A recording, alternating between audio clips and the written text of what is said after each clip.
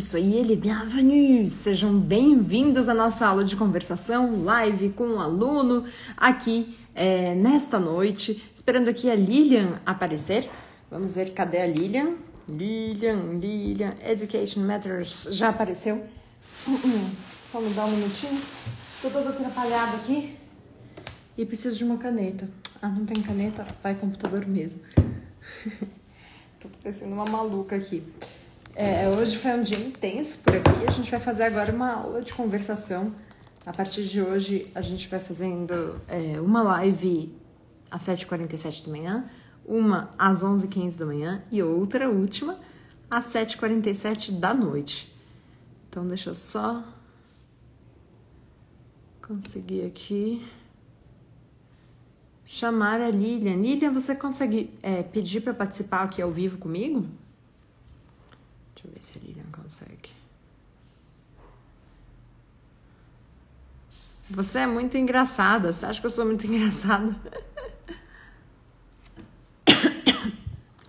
Cadê a Lilian?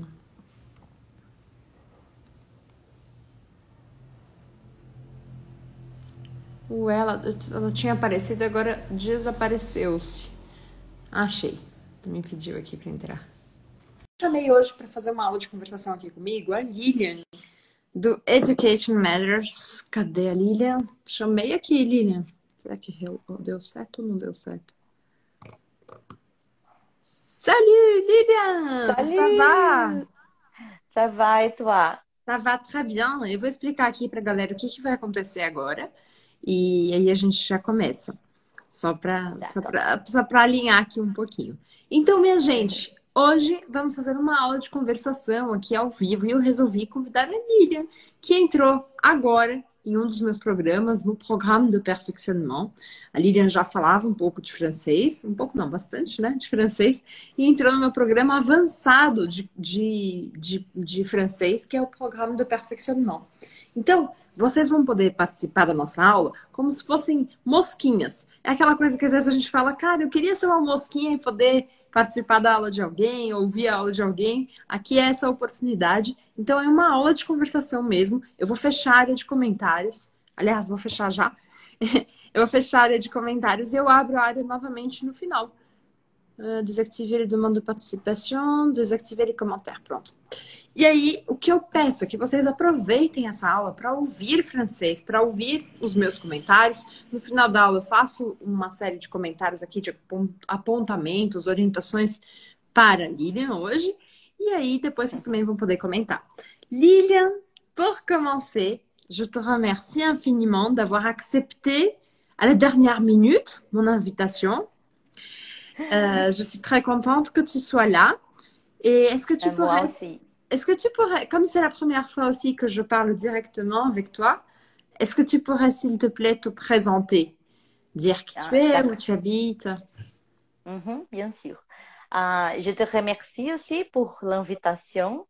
Euh, ça fait longtemps que je ne parle pas français couramment, euh, euh, seulement dans les cours, mais pas comme ça. Euh, Mhm. donc, je suis Lilian, je m'appelle Lilian, j'habite à Belo Horizonte, euh, au Brésil. Je suis prof d'anglais. Je donne cours d'anglais aux enfants et aussi je donne cours, je ne sais, je sais pas comment on dit ça en français, je donne cours de, fran- de, d'anglais, pas d'anglais, Mhm. cours pour euh, les profs d'anglais, Mhm. euh, pour d'autres profs d'anglais. Tu peux dire que tu es Euh, professeure formatrice. ah, d'accord. Donc, je suis professeure formatrice. Spécifiquement Ah, aussi- d'anglais, tu, es, tu, es, euh, tu, tu formes des professeurs d'anglais spécifiquement? Oui, Mhm. euh, d'anglais pour, pour les enfants, Mhm. spécifiquement pour les enfants. C'est mon, mon expertise. Oui, c'est mon expertise. Oui, oui, oui, tout à fait. Tout à fait. Euh, quoi d'autre? Euh, je, je travaille aussi avec de, je ne sais pas comment on dit ça aussi en français. Je écris euh, quelques livres euh, d'anglais pour quelques... Puis des manuels d'anglais? Oui, Des- Oui. Ah. Donc, pour enfants aussi. oui, pour les enfants aussi. Hmm, d'accord. Waouh, très intéressant. Ça fait combien de temps que tu travailles dans ce métier? Ah, dans ce métier de, de livre d'anglais? Oui, de professeur, de Ah, formatrice. de, Il y a trois, possibilités. de professeur, ça fait plus de 15 ans déjà. Ça fait beaucoup de temps. Ah, comme formatrice, peut-être 10 ans, quelque chose comme ça. Mhm. Euh, et les livres bah, euh, pour euh, apprendre l'anglais aux enfants, ça fait un an, je crois. C'est, ça, ça a arrivé pendant la pandémie, cette Mhm. opportunité-là Mhm. a arrivé pendant la, est arrivée pendant la pandémie. Est arrivé. Super. Est Et, arrivée. et- et dis-moi, euh, ça fait combien de temps que tu parles anglais? Ça fait déjà 24 ans. 24 ans. Et pourquoi, Oui. comment, comment et pourquoi tu as commencé à apprendre l'anglais? Ah, j'ai commencé parce que euh, mon père, il écoutait les chansons en anglais, toujours. Euh, donc, j'étais très, très curieuse Mhm. pour, pour euh, savoir, pour comprendre que, que j'ai Oui. que- ouais. Voilà, voilà. Et d'accord. Et est-ce que tu as déjà habité dans un pays de langue anglaise ou non? Non, non, jamais. Je suis allée je suis allée aux États-Unis, au Canada, à l'Angleterre aussi, mais je ne suis, je n'ai jamais habité dans un pays de, de langue anglaise. Et à part l'anglais, tu parles quelle langue? Seulement l'anglais, le portugais et un peu de français. Oh, tu parles français, tu peux dire, je parle français aussi, c'est bien. Et le français, comment, pourquoi est-ce que tu as commencé à apprendre? Et pour, oui, la première question, c'est pourquoi? Je crois que c'était pour la même raison, c'était mon père. Donc, ton père est une personne qui aimait beaucoup les langues? Oui, il ne parle pas couramment, couramment, mais oui, il aime bien les langues. Il, il- il est, euh, il a toujours été intéressé pour les langues étrangères. Hmm, Il a toujours été Ah. intéressé par les langues Par. étrangères. Oui. Merci, Ah, les langues. par les langues étrangères. Euh, et je suis prof d'anglais, j'aime bien l'anglais, mais pour moi, le français est la plus belle langue du monde. Ah, bah tiens, une prof d'anglais qui dit ça. Oui. Et tu as dit que tu habites à Belo Horizonte. Tu habites avec qui? Avec mon mari. Mhm. Euh, il fait cours avec toi aussi. Ah oui, Ah, il, il est les- dans le le- cours euh, débutant, non? Il est dans le cours Oui. programme complet. Oui, D'accord, programme complet. d'accord. Et, Et- donc, et- j'habite avec mon mari. Euh, il s'appelle Brune. C'est drôle en français, mais c'était ma belle-mère. Mais il Brune. Brune avec un E à la fin? Oui, avec un E à la Ah fin. oui, je n'ai jamais Ah vu, oui. même en portugais, je n'ai jamais vu avec un E à la fin. C'était ma, ma belle-mère. Elle est très créative. Très différent. C'est. Non, même en italien, ce n'est pas féminin avec un E à la fin, non? Je ne le crois pas. Et quel est le métier, quelle est la profession de ton mari? Il est journaliste Mhm. et aussi écrivain. Hmm, De fiction ou- Oui, de fiction. Maintenant, il dit qu'il va écrire en français aussi. Ah ben voilà, c'est très bien, très bien. Et il, il Oui. parle couramment l'anglais? Non, pas du tout. Pas du Pas tout. du tout. Un, un petit peu, un petit peu. Alors ça, c'est une chose très difficile. Les gens pensent toujours que quand on est professeur d'une langue, le mari ou la femme va obligatoirement parler cette langue. Mais ce n'est pas comme ça. Est-ce que tu as déjà essayé, tu as déjà essayé d'apprendre l'anglais à ton mari? Oui. Euh, et ça a marché pendant peut-être un an, un an et demi. Mais Mhm. après, on a arrêté et maintenant, il aime bien le français il est très heureux qu'il apprend le français. Ah, je suis contente. Et, il est tout, tout le temps, c'est drôle, c'est vraiment drôle. C'est bien, j'espère qu'il applique bien son, son MMS. Et il savait déjà un peu de français avant ou pas du tout? Non, pas du tout, pas du tout. Hmm, très bien. Quelle est ta motivation pour apprendre le français? Est-ce que tu, tu as quelque chose qui te motive spécifiquement? Um, ah, J'aime les langues en général, mais uh, on pense que peut-être on va habiter en France ou peut-être au Québec euh, au mm-hmm. futur. C'est un rêve. Maintenant, c'est seulement un rêve, mais peut-être euh, ça va devenir une réalité. Mm-hmm. Mm-hmm. Est-ce que tu as vu que la semaine dernière, je change complètement de sujet, mais la semaine dernière, euh, il y a eu une expédition qui a atterri sur la planète Mars. Tu as vu ça? Et tu sais ce qui a rendu ça possible? Ah, ah, non, je ne comprends pas. Tu, sais ce qui a rendu ça possible? Tu sais ce qui a ah, permis que ça Le rêve Comme toi, tu as dit. Ah, le rêve, le rêve. C'est la première chose que quelqu'un a pensé. Peut-être que je peux arriver sur Mars. Peut-être que je peux créer un système qui peut arriver sur Mars. Et alors là, les gens se sont organisés, ils ont créé des projets, ils sont arrivés sur Mars. C'est vrai. ça, c'est toujours l'ingrédient le plus important pour commencer les choses. Avoir un rêve, avoir une envie. Mm-hmm. Et je vois qu'il y a une petite tour Eiffel derrière toi, dans ton, dans ton ah étagère. Est-ce que c'était pas, comment on dit, du propose C'était pas exprès. Ce n'était pas exprès. exprès. Ce n'était pas exprès. Ah bon? Et comment tu es déjà allé en France? Oui, deux fois. à Paris ou dans d'autres régions? À Paris et aussi dans d'autres régions. Le Mans, euh, le Mont Saint-Michel. Mhm. Tu sais que je ne connais pas. Moi, je ne connais pas encore le Mont Saint-Michel. Je ne connais pas Saint-Malo non plus. Non, mais le Mont Saint-Michel, c'est incroyable.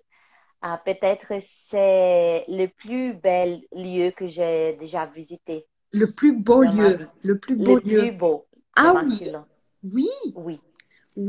Et il y a quelque chose de, je ne sais pas, de magique, de, c'est différent. C'est très différent.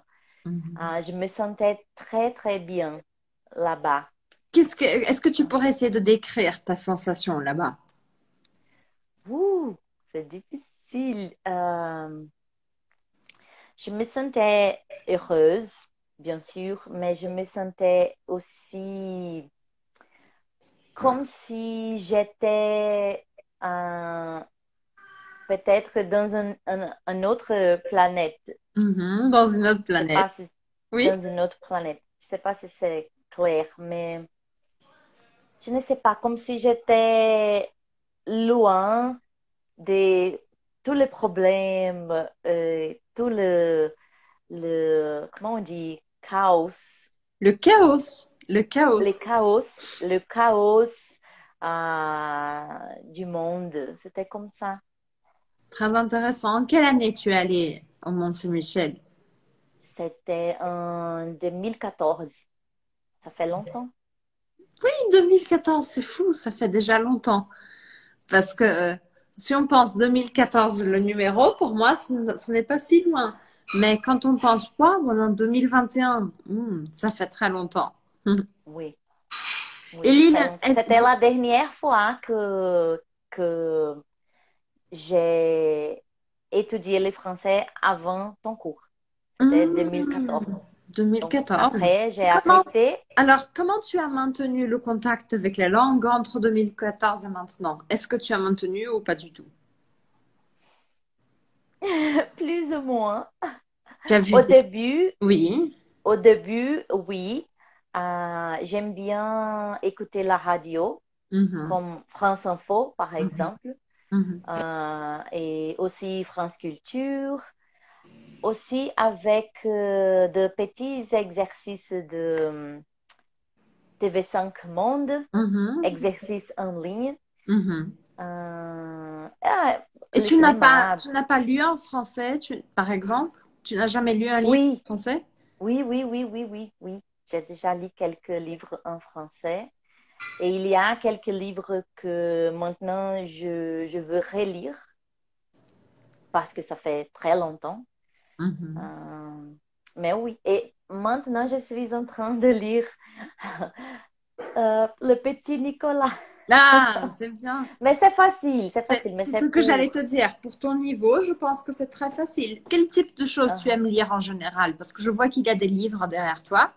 Est-ce que tu as un style de, de littérature que tu aimes spécifiquement? ah oui, je crois que les romans, c'est ro- c'est Les romans? Les romans? Donc, j'ai déjà lu Les Misérables, mais En français? en français. Donc, euh, je veux le relire. Waouh, ça c'est une grande aventure. Ça c'est une très Yeah, grande oui, aventure. Tu oui. sais, peut-être que ça peut te, euh, ça, ça peut te bloquer, peut-être un peu la taille du livre. Donc, essaie de le couper en plusieurs parties plus petites. Donc, au lieu de te dire, je vais lire tout le livre, tu te dis, je vais lire cette partie du livre. Comme ça, ça, ça peut te stimuler. Parce que quelquefois, c'est c'est comme si tu n'as pas l'habitude de courir et que tu décides que tu vas courir un marathon. Un marathon, c'est très long. Il faut que tu coupes le marathon en plusieurs étapes plus petites. Et alors là, tu es capable de courir un jour un marathon. Donc, Mhm. euh, même en portugais, euh, Les Ah Misérables, c'est oui, un très gros livre. oui. Je pense que tu es capable, tu en es capable complètement, mais c'est important que tu, que tu trouves une stratégie pour lire un livre comme ça. mhm, mhm. D'accord. Oui, je vais penser à ça. Et maintenant, je n'ai pas beaucoup de, de temps. Donc, euh, il faut être euh, euh, J'ai oublié le mot être euh, sage? Non, pas sage. Sage, c'est pour les enfants. oui, ça c'est pas plus pour les enfants. Il faut être euh, intelligent, intelligente. Intelligent, oui, Mhm. intelligente, intelligente. Oui. Euh, qu'est-ce que, depuis que tu es devenue une activatrice du perfectionnement, qu'est-ce qui a changé pour toi? Ah, beaucoup de choses. Ah, j'ai essayé de, de faire le MMS Oui, tous les jours. oui. Euh, quand c'est pas possible, euh, comment on dit? Pelo menos? Au Ah, moins, au moins.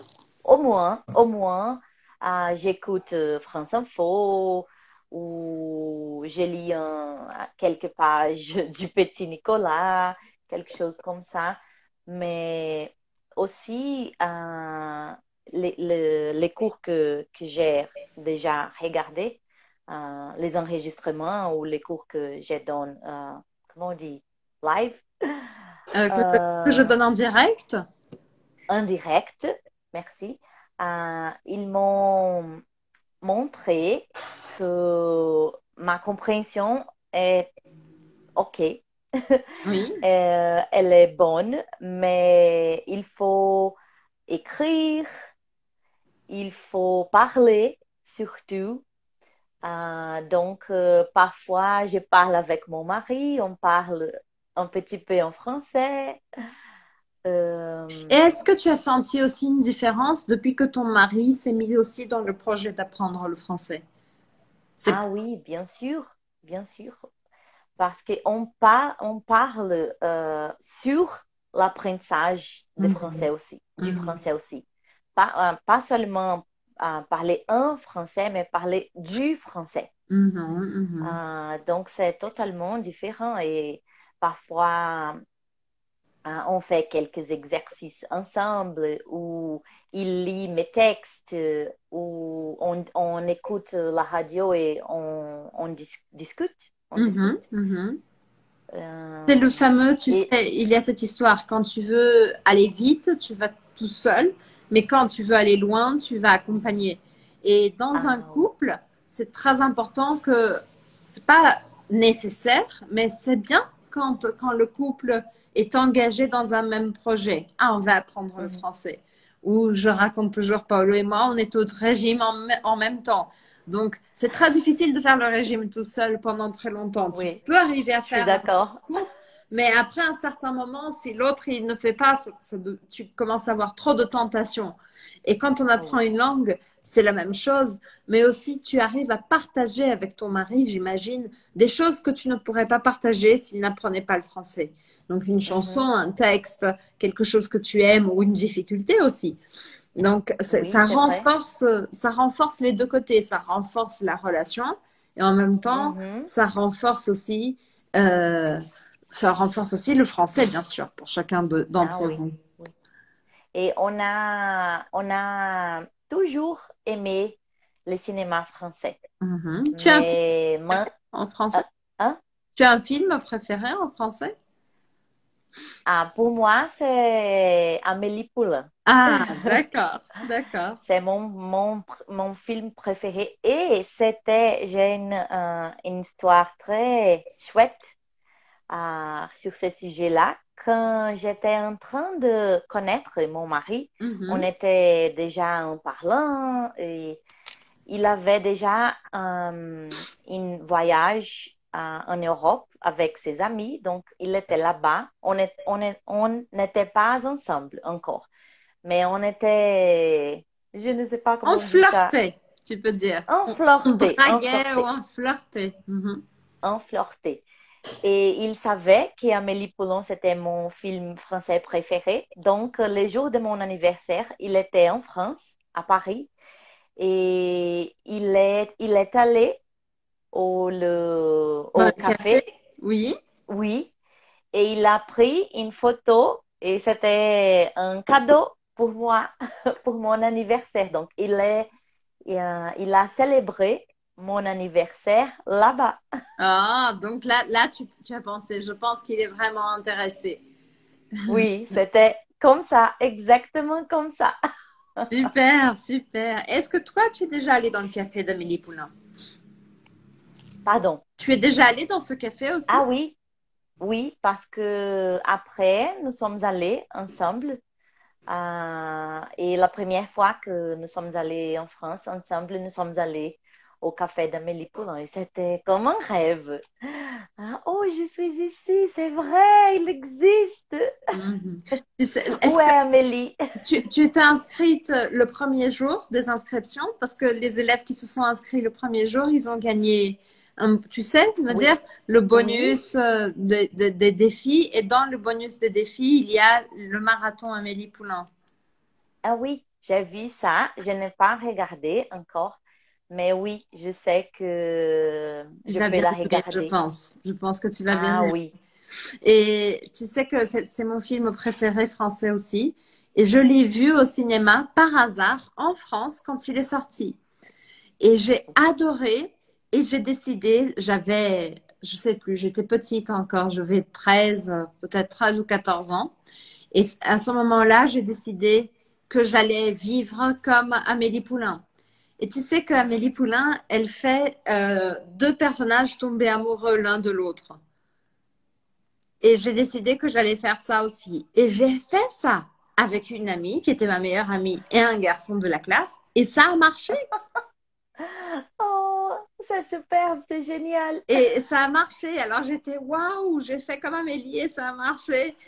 J'étais super contente de ça. oh, je peux imaginer. oui, les choses d'Elisa. Et après, j'avais, ma mère m'avait donné les mêmes, les mêmes chaussures qu'Amélie Poulain. Exactement. C'est des Doc Martens, c'est la marque des chaussures. Et elle m'avait acheté les mêmes chaussures qu'Amélie Poulain et j'étais très, très, très identifiée à ce personnage pendant très longtemps.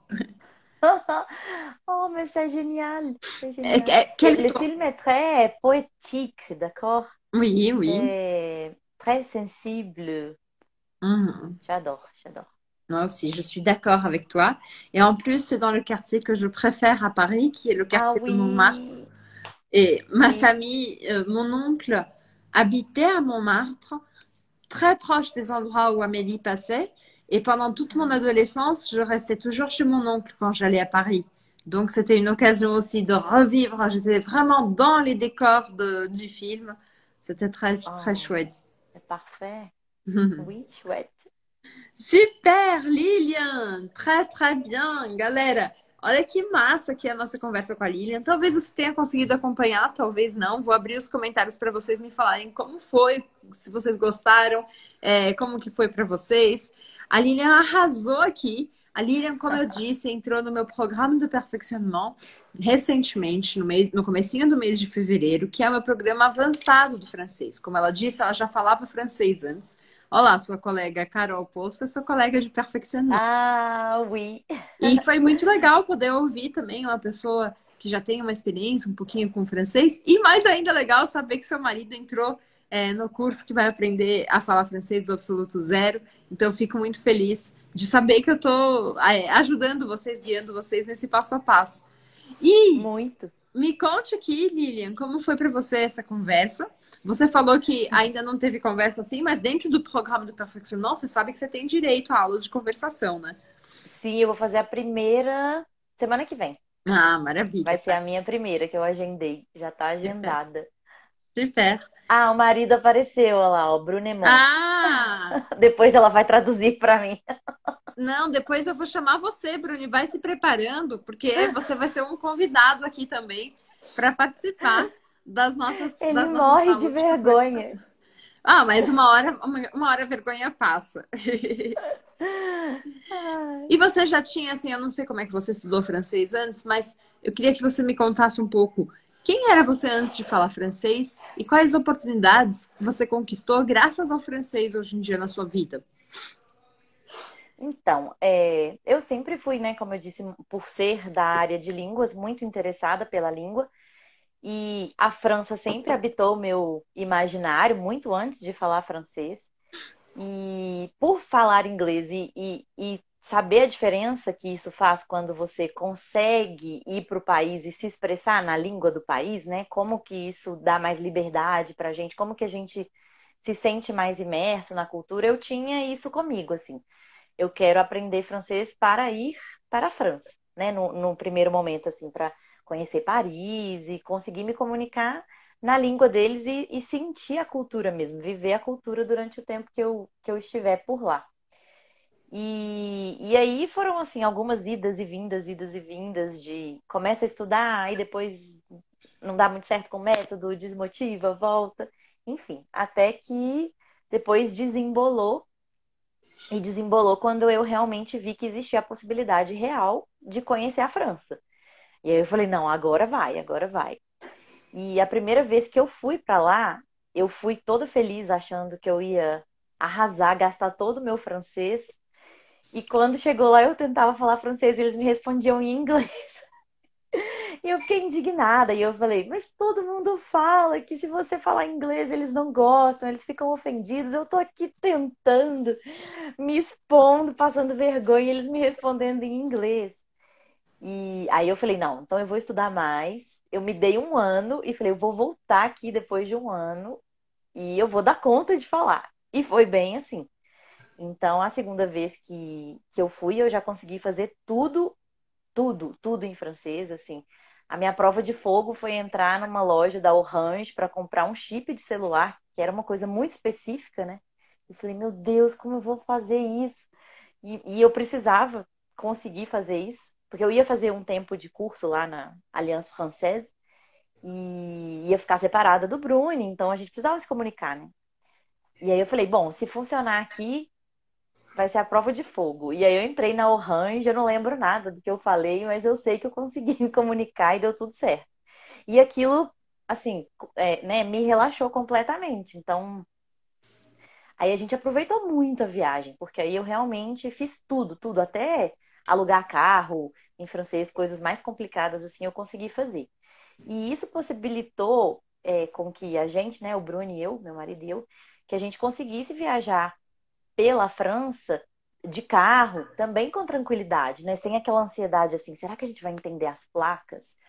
Será que quando chegar no hotel, se tiver um problema, a gente vai conseguir explicar? Porque essas coisas acontecem, né? Uhum. Se furar um pneu, a gente vai conseguir se virar. E para colocar combustível, será que a gente uhum. vai conseguir? Então, não tinha mais essa ansiedade, assim. Então, eu, eu, eu, posso comparar a primeira viagem com a segunda, assim, o aproveitamento foi, claro que foi maravilhosa a primeira também, mas o aproveitamento da segunda foi assim, 300% melhor porque eu já conseguia me comunicar em francês. Uhum. E, e é isso, assim, a gente é muito fã da cultura francófona, então, tanto da literatura quanto do cinema. Então, o fato também de conseguir entender minimamente, né, é, um filme, uma música, um livro, também é algo que agrega muito pra gente, assim, né, Uhum. pessoalmente. E o que fez você entrar no programa de perfeccionnement? Porque você já falava francês. O que que falou? Não, eu acho que eu preciso fazer o programa de perfeccionnement. Então, porque eu, que- eu quero que o meu francês chegue no nível do meu inglês, porque eu, eu sou proficiente no inglês, né? Tenho certificação, enfim. É, então eu tenho essa coisa, assim, eu preciso que o meu francês ele seja tão natural para mim quanto o, inglês é, né? Claro que sem o peso do inglês, porque não necessariamente eu vou trabalhar com o francês. É, mas como também tem essa possibilidade, tem esse sonho, né, de talvez a gente passar um tempo ou no interior da França ou no Quebec, então quanto melhor, né, o nosso francês estiver, melhor a gente vai se virar lá, né, se isso Uhum. acontecer. Então, assim, meio que isso é um, um passo desse sonho, assim, um passo concreto desse, desse sonho, Uhum. uma ação concreta desse nosso sonho. E o que você já tira assim de aprendizado? Eu sei que faz pouco tempo, né? Um mês exatamente, de fato, que você começou o programa do perfeccionnement, mas o que você já tira de aprendizado do, do programa? Eu acho que principalmente o fato de que hoje a gente tem possibilidade de aprender muito o tempo inteiro, assim. Você só não tem contato com uma língua estrangeira hoje em dia se você não quiser mesmo, né? Porque os recursos estão aí. E dentro do perfeccionnement, por exemplo, é, do, do, do que eu já consegui, né, acompanhar, das aulas que eu já consegui acompanhar, eu tenho gostado muito das discussões, assim, dos debates, o plongée culturel, porque vai trazer sempre esse lado da cultura.